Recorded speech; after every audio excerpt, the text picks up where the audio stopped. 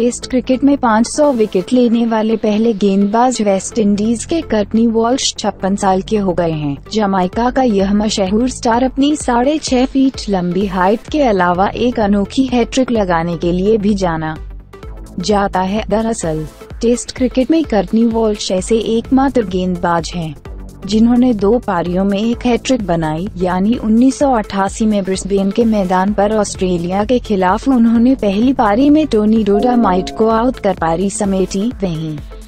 दूसरी पारी की पहली ही दो गेंदों पर माइक वेलेटा और ग्रीन ग्रीनवुड का विकेट निकालकर हैट्रिक बना ली, सिर्फ़ एक रन देकर झटके थे पाँच विकेट वोल्श के नाम दिसंबर उन्नीस सौ छियासी में श्रीलंका के खिलाफ वनडे मैच में बनाया गया।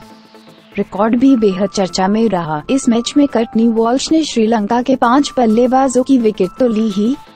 साथ ही रन दिया सिर्फ़ एक। शारजाह में खेले गए उस मैच में वेस्ट इंडीज ने एक सौ तिरानवे रन से जीत हासिल की थी। यह उनके वनडे करियर का सर्वश्रेष्ठ स्पेल था। वॉल्श ने अपने सत्रह साल लंबे करियर में पाँच हज़ार ऐसी ज़्यादा ओवर फेंकी इस दौरान उन्होंने 24 की औसत से 519 विकेट झटके, इसमें 22 फाइव विकेट हॉल भी शामिल है। टेस्ट क्रिकेट में पहले 500 विकेट लेने वाले गेंदबाज कटनी वॉल्श टेस्ट क्रिकेट में 500 विकेट लेने वाले पहले।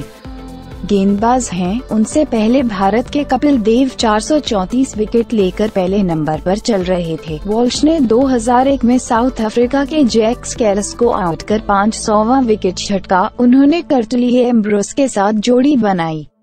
दोनों ने उनचास मैचों में मिलकर अपने देश के लिए 421 विकेट झटके, वॉल्श के नाम पर टेस्ट क्रिकेट में सर्वाधिक 43 बार शून्य पर आउट होने और इकसठ बार नॉट आउट रहने का रिकॉर्ड भी है, जेड न्यूज़ की रिपोर्ट।